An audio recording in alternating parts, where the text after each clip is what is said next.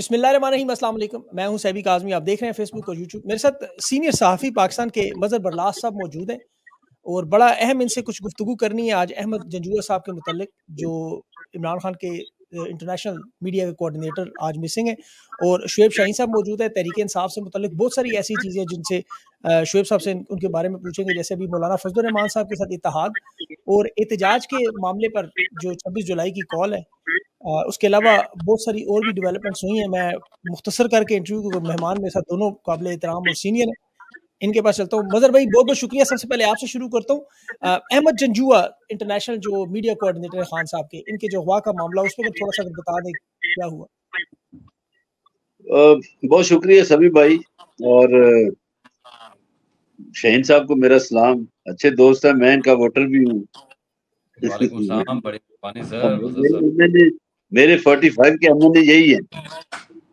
باقی کو بالکل یہ پاکستان کی ایسا ہوا کہ احمد ججوا میرے بہنوئی ہیں۔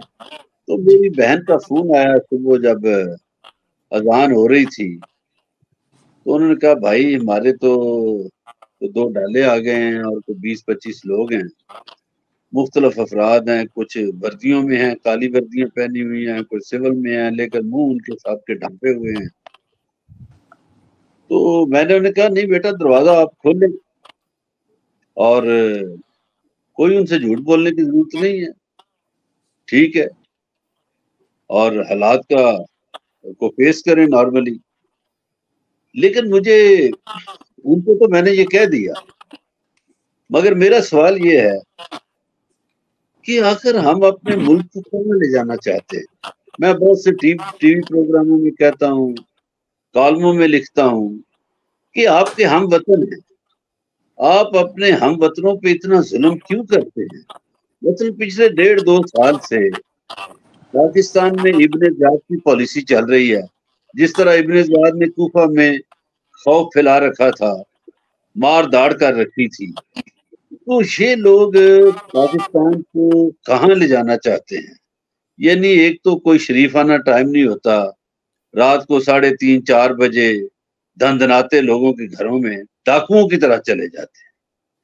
تو یہ رویہ درست نہیں ہے۔ آپ کے پاس کم از کم کوئی وارنٹ ہونے چاہیے اور آپ دن کو جائیں۔ آپ اتنے بہادر ہیں تو آپ دن کو جائیں نا۔ آپ چوروں کی طرح کیوں جاتے ہیں لوگوں کو گرفتار کرنے؟ آپ اندھیری راتوں کا فائدہ کیوں اٹھانا چاہتے ہیں؟ وہ آپ دن کی روشنی میں جائیں وارنٹ لے کر جائیں، پاکستان کے شہری ہیں، اور میرا یہ کم از کم یقین ہے، میں جہاں تک عمران خان صاحب کو جانتا ہوں اور ان کی پارٹی کو جانتا ہوں۔ پاکستان تحریک انصاف کا تو مطلب ہی یہ ہے کہ آئین اور قانون کی حکمرانی پہ یقین رکھنے والی جماعت۔ اور عمران خان صاحب نے ہمیشہ آئین کی حکمرانی کی بات کی ہے، قانون کی حکمرانی کی بات کی ہے انصاف کی بات کی ہے۔ تو انصاف کا تقاضا تو یہ ہے کہ آپ کو کوئی شخص مطلوب ہو تو آپ دن کی روشنی میں جائیں اور اس کے وارنٹ لے کر جائیں اور ان کے گھر والوں کو بڑے تمیز سے بتائیں۔ دروازے توڑنے کی ضرورت نہیں ہے، لوگوں کے صوفے توڑنے کی ضرورت نہیں ہے، لوگوں کے ٹی وی توڑنے کی ضرورت نہیں ہے، لوگوں کو ہراساں کرنے کی ضرورت نہیں ہے۔ آپ بتائیں جا کے شریف آدمیوں کی طرح بیل دیں کہیں جی یہ آپ کو آپ مطلوب ہیں ہمیں۔ مہربانی۔ میرا خیال ہے سب سارے پاکستانی تعاون کریں گے۔ بالکل صحیح سب پاکستانی چاہتے ہیں قانون کی حکمرانی ہو آئین کی حکمرانی ہو۔ لیکن یہاں کیا ہے؟ یہاں کچھ لوگ آئین کی حدود سے ماورہ ہونا چاہتے ہیں۔ یہاں کچھ لوگ قانون سے ماورہ ہونا چاہتے ہیں۔ آپ مجھے یہ بتائیے ہم لکھنے کو اسلامی جمہوریہ پاکستان لکھتے ہیں۔ اگر یہ اسلامی جمہوریہ پاکستان ہے دو لفظ آ گئے نا ایک اسلامی آ گیا ایک جمہوریہ آ گیا۔ اگر یہ اسلامی ہے تو اسلام میں ایسے ڈاکوؤں کی طرح آنا ٹھیک نہیں ہے۔ دن کو بلائیں فیس کریں۔ اور قانون سب کے لیے ایک ہوتا ہے۔ اسلام میں تو یہی ہے۔ بالکل۔ انصاف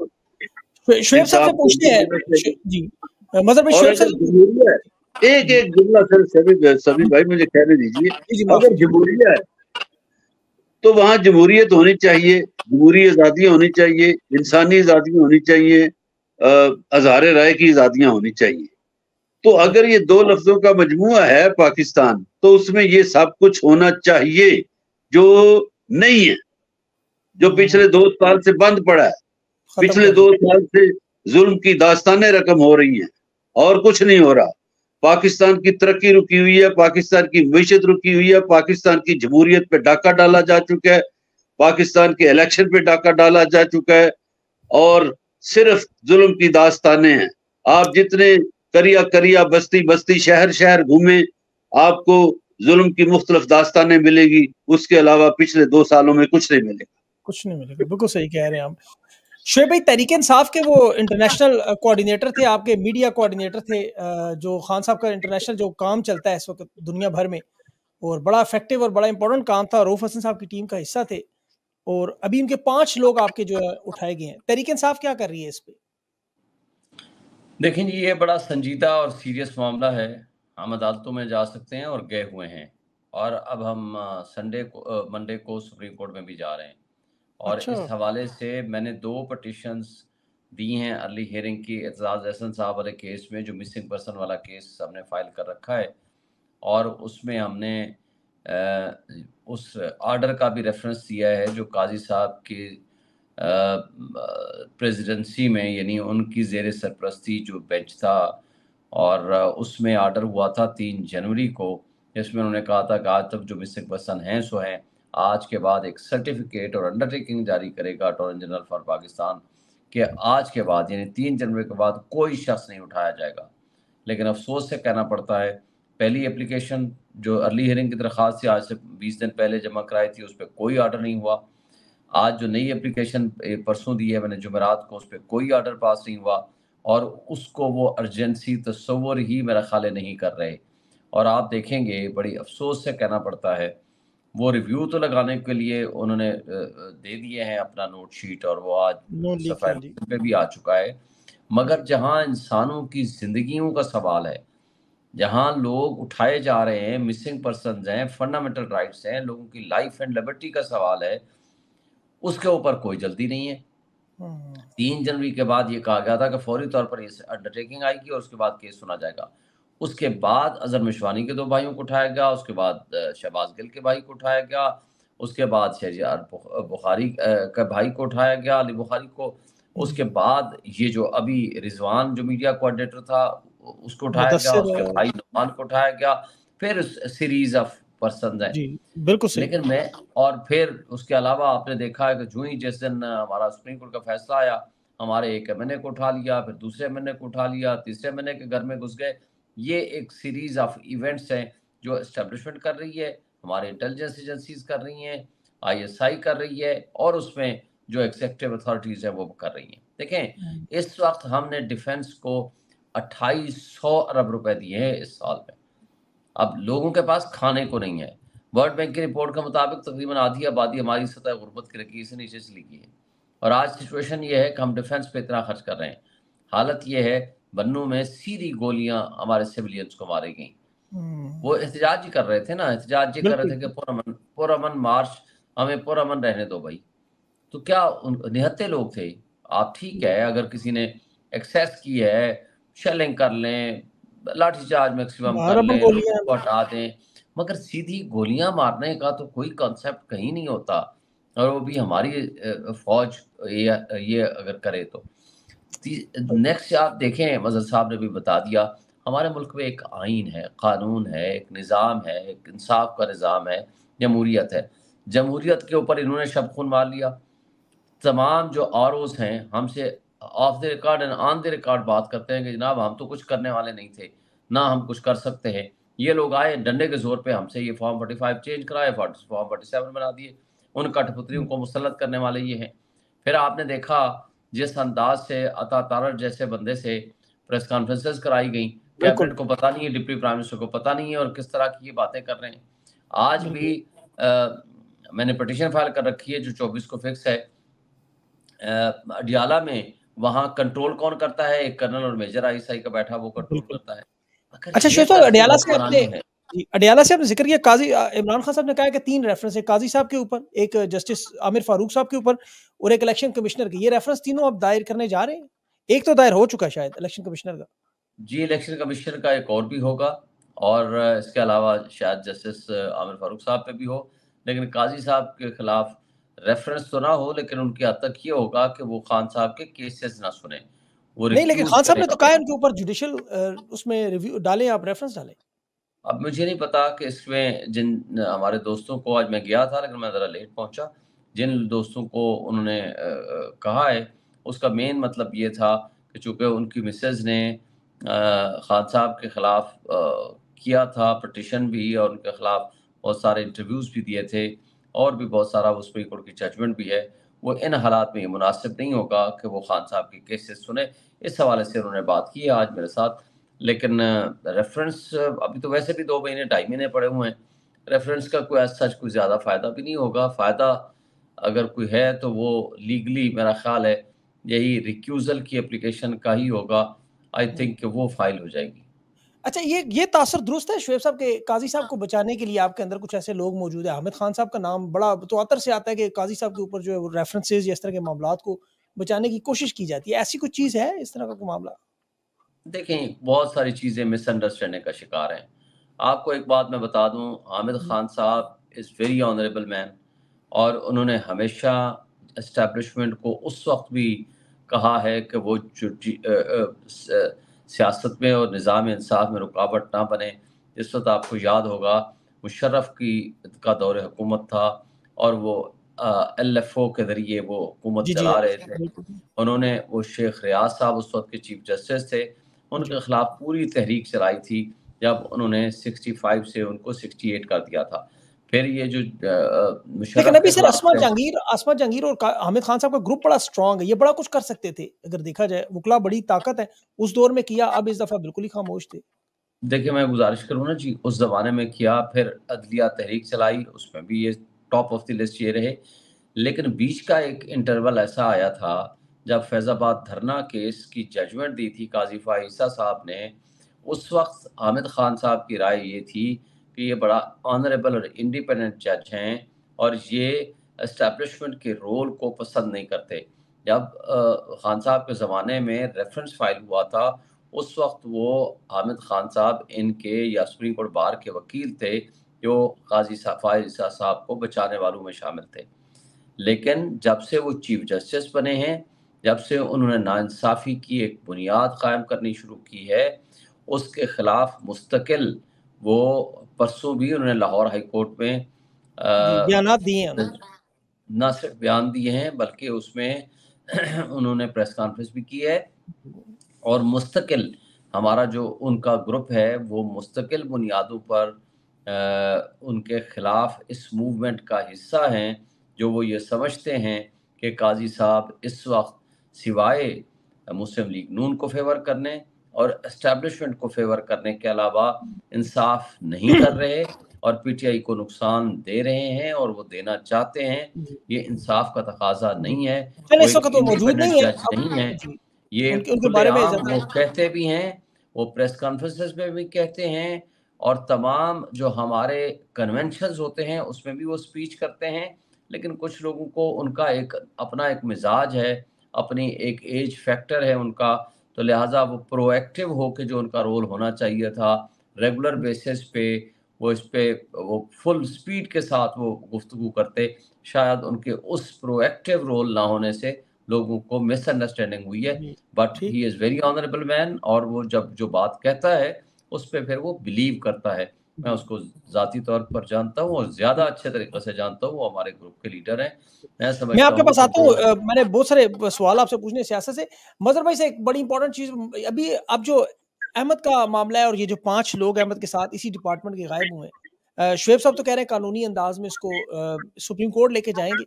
آپ نے آج پٹیشن بھی دائر کی ہوئی ہے ایمان مزاری وکیل ہے شاید آپ کی۔ اس پہ کوئی پیش رفت ہوئی کوئی ڈیٹ لگی اس پہ کیا ہوا اب تک؟ جی اس میں ڈیٹ لگ گئی ہے جی۔ وہ منڈے کے دن پیر والے دن سنیں گے جسٹس جسٹس ارباب طاہر صاحب ہیں اسلام آباد ہائی کورٹ کے۔ جی۔ بڑے آنریبل جسٹس ہیں بڑے انہوں نے کو دبنگ فیصلے بھی کر رکھے ہیں۔ جی۔ اور وکیل ہماری بھی خیر کافی دبانگ ہے۔ ایمان مزاری ڈاکٹر شیری مزاری کی بیٹی۔ مجھے ویسے یہ ابھی شعیب صاحب کی باتیں سن کے کچھ چیزیں یاد آ رہی تھی۔ جی جی۔ دیکھیے قاضی صاحب جو ہے نا قاضی صاحب دنیا کی انوکھی باتیں کرتے ہیں۔ جس طرح وہ خود بلوچستان ہائی کورٹ کے چیف جسٹس بنے تھے بغیر جسٹس بنے۔ ڈائریکٹ حوالدار نہیں ہوتے اس طرح بھرتی ہو گئے۔ تھے اور اب دیکھیے کہ انہیں نظر ثانی نون لیگ کی تو بڑی جلدی پڑی ہے۔ اور وہ جو بلے والی نظر ثانی والی درخواست ہے پانچ ماہ سے اس کو وہ لفٹ نہیں کرا رہے۔ تو یہ بات تو درست ہے کہ قاضی صاحب کالم لکھے نا مظہر بھائی ایک کالم لکھے قاضی صاحب کے نام آپ کی تو بڑی آواز سنائی دے جنگ اخبار قاضی صاحب لازمی پڑھتے ہوں گے شاید ہمارا پروگرام تو نہ دیکھتے ہوں۔ اس میں لکھے نا خط برائے قاضی کے نام تو اس میں ذرا کچھ تحریریں کہ شعیب صاحب بھی کہہ رہے ہیں میں بھی کہہ رہا ہوں ڈالے ذرا اس کے اندر۔ میں تو قاضی کو دیکھتا ہوں تو مجھے چودہ سو سال پہلے والا قاضی شورا یاد آ جاتا ہے۔ اچھا ابھی آ، کوئی درمیانی راستہ احمد کے کیس میں کوئی کانٹیکٹ وغیرہ آپ کے ساتھ ہوا ہو؟ کسی ایجنسی نے کہا ہو کچھ لے دے کی بات ہو؟ لیپ ٹاپ موبائل سب کچھ لے گئے ہیں۔ اور ابھی تو ٹوئنٹی تھرڈ جولائی کو انہوں نے بڑا امپورٹنٹ کام بھی تھا لندن میں جو ہاؤس آف کامن کی وہ بھی پریپریشن بھی ہو رہی تھی شاید تحریک انصاف کی طرف سے۔ اچھا قاضی صاحب بات پتہ کیا ہے؟ جی۔ کہ اس میں ایک طریقہ واردات انہوں نے رکھا ہوا ہے اس میں ہماری شاید عدالتوں کے بھی کچھ لوگ ملے ہوئے ہوں۔ کہ یہ ہفتے کی صبح کو واردات کرتے ہیں جس کو بھی ہاں۔ اٹھا اٹھانی ہو نا جمعے اور ہفتے کی درمیانی رات۔ کہ آگے دو دن پھر چھٹیاں ہوں۔ اچھا جب جسٹس تھے یہاں اطر من اللہ چیف جسٹس اسلام آباد ہائی کورٹ کے تو سیٹرڈے کو عام طور پر کوئی نہ کوئی جج موجود ہوتا تھا کیس سنے جاتے تھے۔ مگر جب سے یہ موصوف آئے ہیں جسٹس عامر صاحب، تو ہفتے کو کوئی سنا ہی نہیں جاتا۔ سنوائی نہیں ہوتی تحریک انصاف کے کیسز تو رات کو بھی لگا دیتے تھے گیارہ گیارہ گھنٹے سولہ سولہ گھنٹے کیس وہ بھی چل جاتے تھے۔ اتوار کو بھی شہباز حمزہ شہباز کو مل جاتی تھی بیل۔ یہاں یہ بابا آدم ہے۔ لیکن عدلیہ سے بڑی توقع ہے اس لیے کہ حالیہ دنوں میں پاکستانی عدلیہ کے ججوں نے بڑی بہادری دکھائی دلیری دکھائی اور جمہوریت کے لیے انسانی حقوق کے لیے وہ کھڑے ہو گئے۔ اور سو انسانی ساتھ ہیں ایسی بات نہیں سر واقعی اس میں کوئی شک نہیں؟ اچھا مظہر اور بھائی آپ سے قاضی معیشت صاحب- اور قاضی صاحب کی خواہش کے باوجود نظر ثانی کی درخواست نہیں لگ رہی۔ دیکھیے نا یہ بھی ججوں کا کمال ہے۔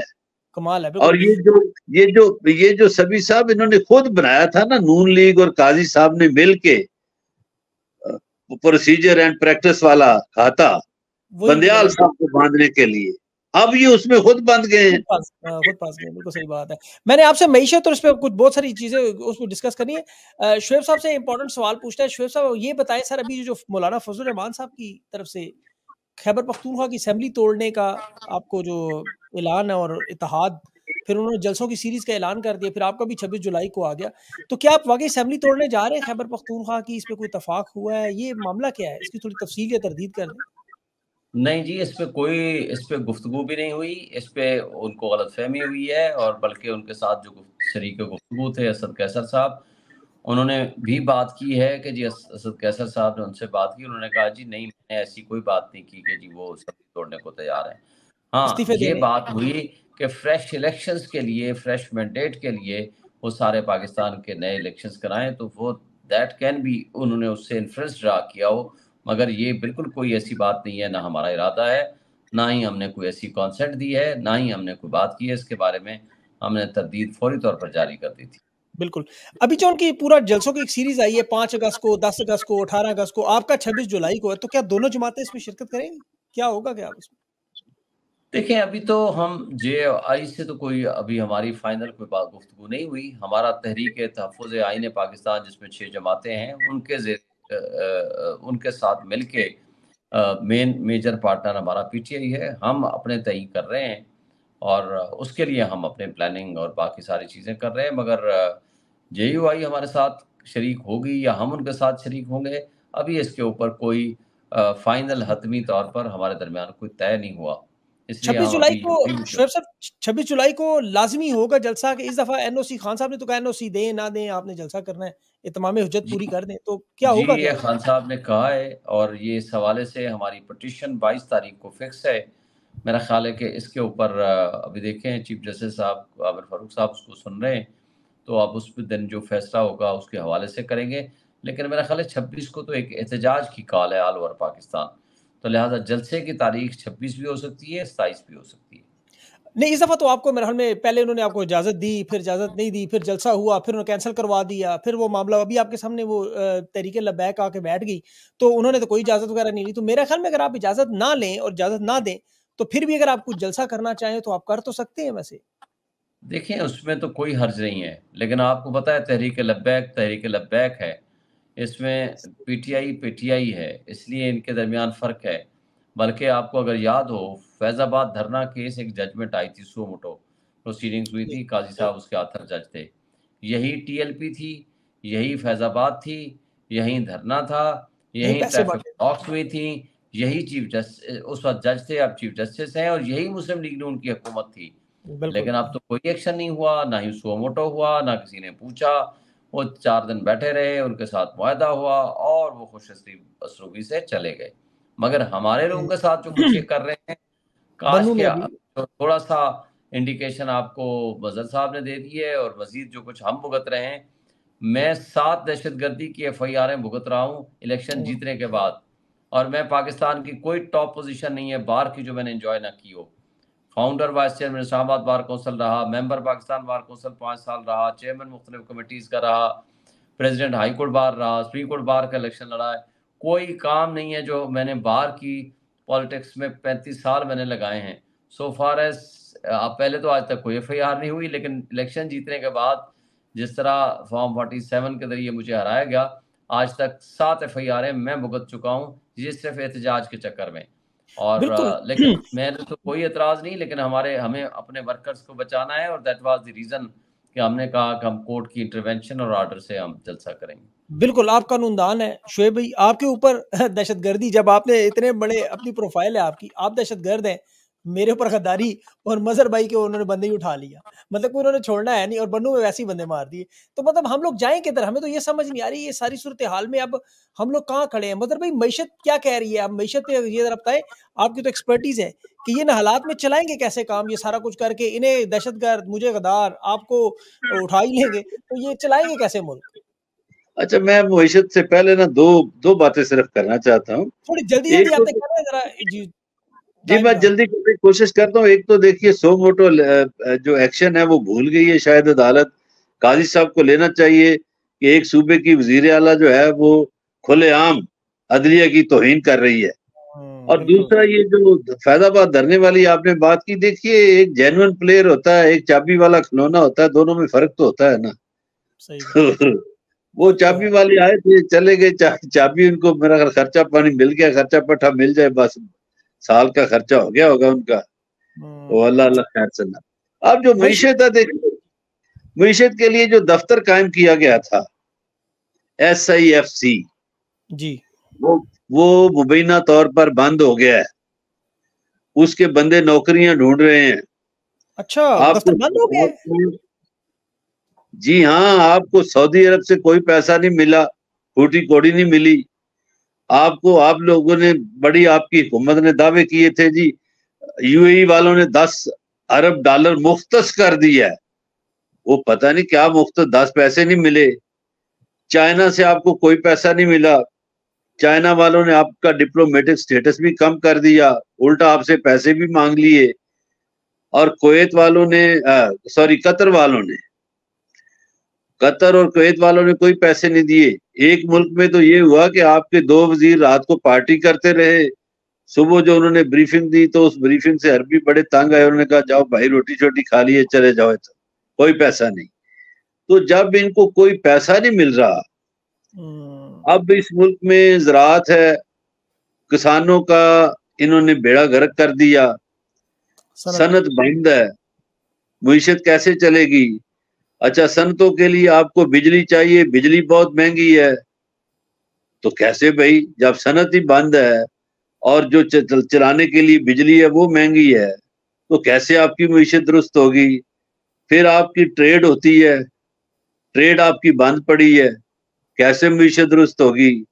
پھر دیکھیے دنیا کے کئی ملکوں میں ٹوریزم ہوتا ہے پاکستان میں تو ٹوریزم نہ ہونے کے برابر ہے۔ آپ کا ماحول جو ہے دہشت گردی کا ہے۔ ہاں، بالکل۔ اچھا پھر لوگ دنیا میں ایک کہاوت ہے مشہور ہے چیز ہے حقیقت ہے کہ سیاسی استحکام بڑا ضروری ہے۔ تو ملک میں سیاسی عد- عدم استحکام ہے۔ اس سیاسی عدم استحکام میں معیشت آپ کی کیسے درست ہوگی؟ اور آپ کا جو وزیر اعظم ہے اس نے بتیس دنوں میں پینتالیس خرب روپیہ لے لیے پاکستانی بینکوں سے۔ تو وہ کس نے واپس کرنا ہے؟ آج تو پاکستانی تاجر پیٹ اٹھے ہیں۔ انہوں نے کہا کہ خدا کے لیے یہ جو آئی پی پیز والے چالیس خاندان ہیں، یا ان کو بچا لو یا چوبیس کروڑ لوگوں کو بچا لو۔ اسی فیصد پاکستانی سبھی صاحب وہ ہیں جن کی انکم تیس ہزار سے کم ہے۔ اسی فیصد کا مطلب ہے بیس کروڑ پاکستانی۔ اب چوبیس کروڑ میں سے بیس کروڑ پاکستانی وہ ہیں جن کی آمدنی تیس ہزار سے کم ہے۔ یعنی وہ شرح غربت سے بھی نیچے ہیں۔ اوپر والے جو ساڑھے تین کروڑ ہیں، وہ بےچارے ٹوپیاں بدل رہے ہیں۔ کوئی شعیب صاحب سے پیسے لے رہا ہے، کوئی آپ سے لے رہا ہے، کوئی مجھ سے لے رہا ہے، ایک دوسرے سے ہم تینوں لے لو کے وہ فیسیں ادا کر رہے ہیں، کوئی بل ادا کر رہے ہیں۔ تو پانچ لاکھ اشرافیہ جو ہے، اب یہ جو بڑے بڑے فیصلے کرنے والے لوگ ہیں، خواہ وہ سول بیوروکریسی ہے، خواہ ملٹری بیوروکریسی ہے، خواہ حکومتی وزیر ہیں، ان کا تو بابا گھر بھی سرکاری گاڑی بھی سرکاری فون بھی سرکاری نوکر بھی سرکاری ڈرائیور بھی سرکاری سب کچھ سرکاری۔ ان کو تو مہنگائی محسوس نہیں ہوگی۔ بالکل صحیح مہنگائی تو محسوس ہے وہ آدمی کو ہوگی۔ اور وہ جو تیس ہزار سے کم لینے والا بیس کروڑ پاکستانی ہے اگلے مہینے وہ یا تو سڑکوں پہ ہوگا یا ان میں سے بہت سے لوگ خودکشیاں کر رہے ہوں گے یا یہاں چور چوریاں ڈاکے بڑھ جائیں گے جرائم بڑھ جائیں گے۔ اللہ رحم تو یہ ملک جو ہے وہ ایک افراتفری کی طرف جا رہا ہے۔ درست کہہ رہے ہیں بالکل۔ پھر بھائی آپ بتائیں ابھی جو قانونی بیٹلز آپ کی چل رہی ہیں اس وقت سپریم کورٹ میں بھی اس وقت کالعدم کرانے کا تحریک انصاف کو آرٹیکل سکس عمران خان پہ لگانے کا شاہ محمود اور باقی لوگوں پہ قاسم سوری پہ اور پارٹی بین کرنے کا جو معاملہ ہے اس پہ پیپلز پارٹی جو ہے وہ ابھی ششو پنج میں ہے۔ اگر یہ لوگ بھی اکٹھے ہو گئے اور یہ لوگ سارے چلے گئے تو آپ کو لگتا ہے کہ یہ کالعدم کرانے کی طرف معاملہ یہ صرف دھمکیاں دی جا رہی ہیں آپ کو ڈرانے کی کوشش کی جا رہی ہے۔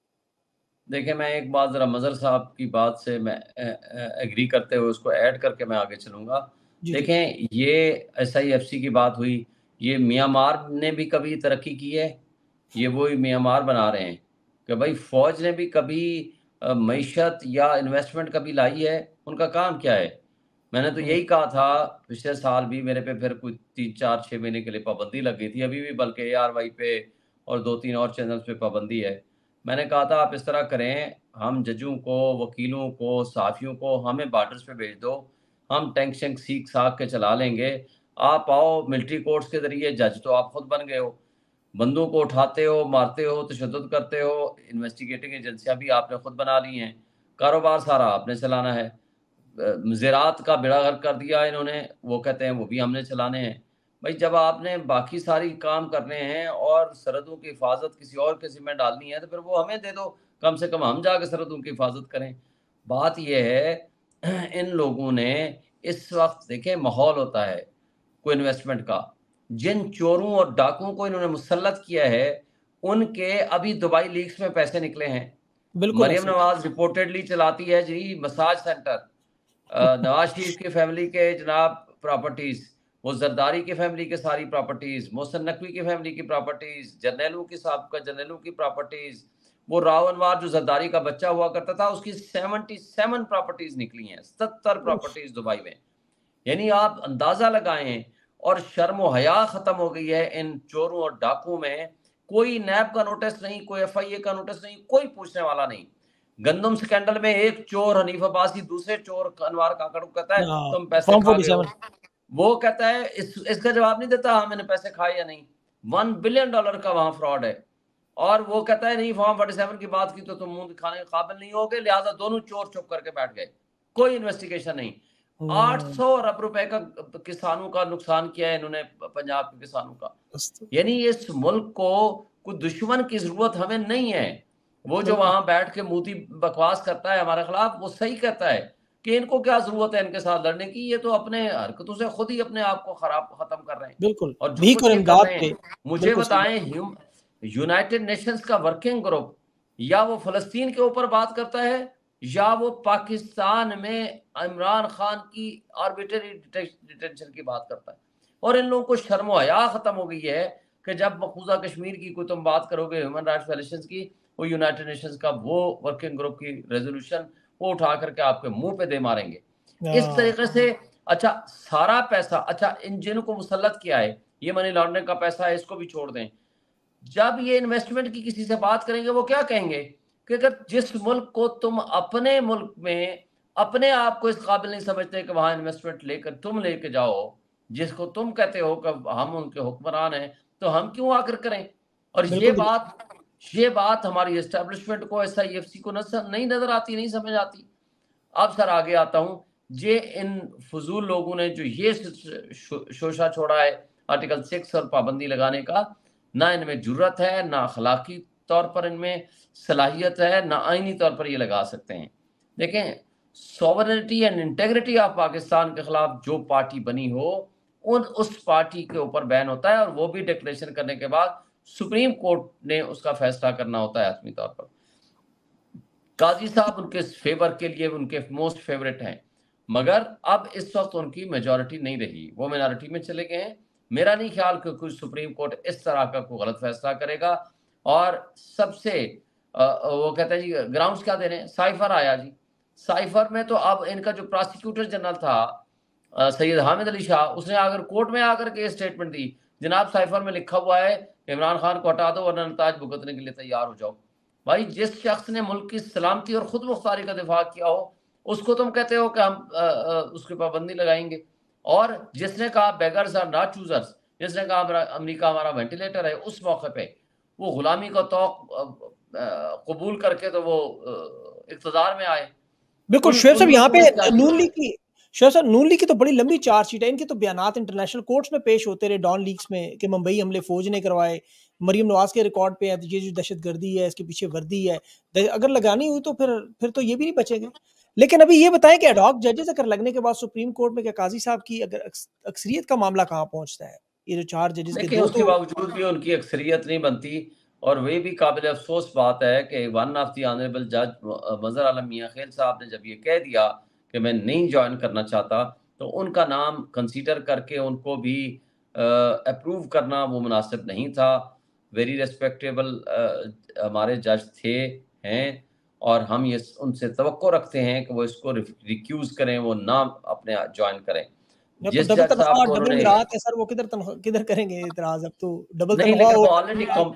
وہ تو اصولی طور پر تو یہ باتیں غلط ہیں۔ یوتھ یہاں رل رہی ہے اور آپ نے بوڑھوں کو اٹھا کر کے یہاں مسلط کیا ہوا ہے۔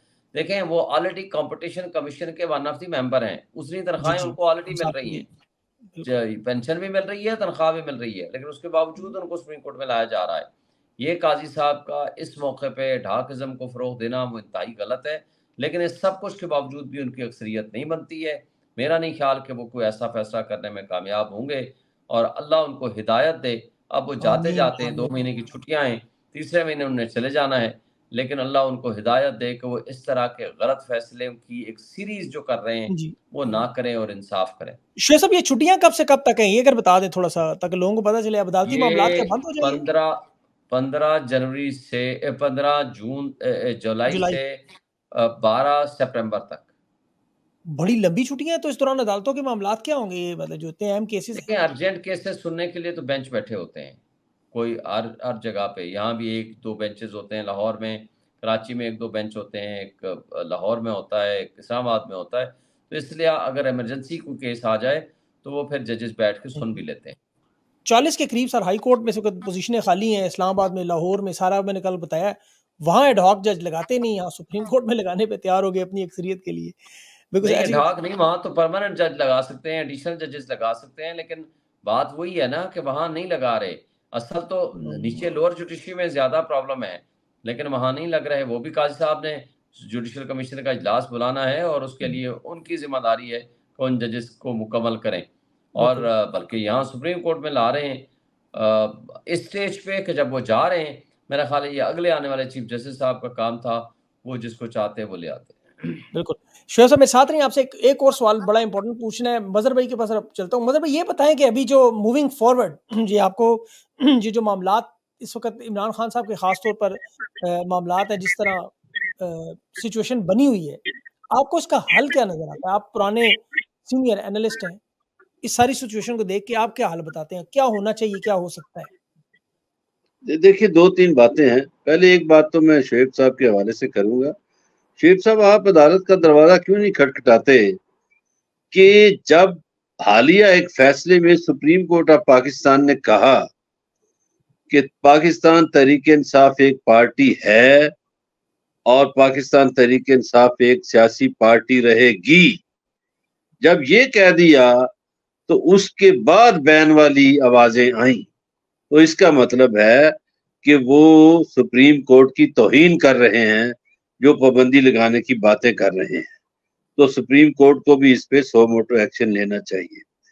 سبھی بھائی عمران خان جو ہیں، وہ پاکستان کے نہیں پوری دنیا کے آزادی پسندوں کے ہیرو ہیں۔ وہ نینسل منڈیلا سے آگے نکل چکے ہیں۔ اب یہ جان چھڑانا چاہتے ہیں۔ روز دوسرے دن نیا پیکج لے کے جاتے ہیں۔ عمران خان نے چھتر سالوں میں جو کام نہیں ہوا تھا وہ کر دیا ہے۔ پاکستانی قوم کو سیاسی شعور دیا ہے اور شعور کو وہ یہاں تک لے آئے ہیں کہ اب لوگ کھڑے ہو گئے ہیں ظالمانہ نظام کے خلاف۔ اور مجھے لگتا ہے کہ ظلم کا یہ نظام زیادہ دیر قائم نہیں رہے گا۔ یہ ایک دو ماہ زیادہ سے زیادہ چل سکتے ہیں، اس سے زیادہ نہیں چلیں گے۔ اور ظلم کے نظام کے بعد جب خاتمہ ہوگا تو پاکستان ایک انقلابی پاکستان ہوگا، پاکستان ایک بدلا ہوا پاکستان ہوگا اور عمران خان پاکستان کی قیادت کر رہے ہوں گے۔ انشاءاللہ انشاءاللہ۔ آپ کے تجزیہ، آپ کی جو باتیں جو ہیں وہ اس میں کوئی شک نہیں کہ عوام بھی اس وقت یہی سوچتی ہے اور لوگ بھی سوچتے ہیں۔ شعیب شاہین صاحب سے قانونی اعتبار سے پوچھتے ہیں۔ شعیب صاحب، قانونی اعتبار سے خان صاحب کے جو کیسز ہیں اور یہ سارے معاملات ہیں مظہر صاحب کی تجزیے کو اگر اس پہ فٹ کیا جائے تو آپ کیا دیکھ رہے ہیں؟ دیکھیں، قانونی طور پر تو ان کے خلاف کوئی مقدمہ باقی نہیں رہا۔ ایک توشہ خانہ ٹو کہیں تھری کہیں فور کہیں، وہ لانے کی کوشش کر رہے ہیں۔ ان بےمانوں کے پاس اور کچھ بھی نہیں باقی بچا۔ ان کے تو کرپشن میں ڈوبے ہوئے ہیں نا۔ اور جی۔ اسی طرح کچھ نو مئی کے بی سیوں کیسز ہو چکے ہیں حالانکہ ایک ایشو کے اوپر ایک ایف آئی آر ہو سکتی ہے۔ نو مائی کو ریاستی دہشت گردی کے ذریعے عمران خان کو گرفتار کیا گیا تھا اسپیشلی اس کیس میں جس میں وہ ضمانت کے لیے ہائی کورٹ میں موجود تھے اور بایو میٹرک کرا رہے تھے۔ وہ اس کی کوئی قانونی حیثیت نہیں ہے کیونکہ جو شخص انڈر کسٹڈی ہوتا ہے تو وہ پیچھے ہونے والا ہے کوئی بھی اگر جرم ہے یا نہیں ہے اس کا وہ رسپانسبل نہیں ہوتا۔ مگر اس کے علاوہ کوئی ان کے خلاف مقدمہ نہیں ہے۔ لیکن ان کٹ پتریوں کو پتہ ہے کہ جس دن عمران خان نے باہر آنا ہے ان کے اقتدار کا آخری دن ہونا ہے۔ دیٹ از دی ریزن ہیلے بہانوں سے یہ کر رہے ہیں۔ لیکن میرا خیال ہے کہ زیادہ دیر کے لیے وہ بالکل نہیں رکھ پائیں گے۔ اب ان کے باہر آنے کے دن بالکل قریب ہیں۔ اب وہ پاگل ہوئے جا رہے ہیں۔ وہ کھلاہٹ کا شکار ہیں۔ ایک طرف سے عدلیہ کھڑی ہو گئی ہے۔ اوپر سے عمران خان کے فالوورز اور پوری قوم پچاسی پرسنٹ ان کے پیچھے کھڑی ہو گئی ہے۔ کوئی اس کرپٹ نظام کو ماننے کو تیار نہیں ہے۔ اور اب ان کی بکھلاہٹ بڑھتی چلی جا رہی ہے۔ لیکن میں یہ سمجھتا ہوں کہ اس میں کوئی شک نہیں ہے۔ یہ کرپٹ سسٹم جتنا ایکسپوز عمران خان نے کر دیا ہے اب یہ نہ سسٹین کر سکتا ہے نہ رہ سکتا ہے نہ زیادہ دیر کے لیے اس کو دوام اور تو آپ اگری ہیں؟ شعیب صاحب ایک دو مہینے ہی ہیں ان کے بس۔ جی آپ یہ تصور کر سکتے ہیں ایک سے تین مہینے کے درمیان۔ بالکل صحیح بالکل صحیح۔ شعیب صاحب آپ نے اور مظہر صاحب آپ نے جو اپنا قیمتی وقت دیا سر اس پہ میں بہت زیادہ مشکور ہوں۔ Thank you so much for give me time ان شاء اللہ will be in touch sir thank you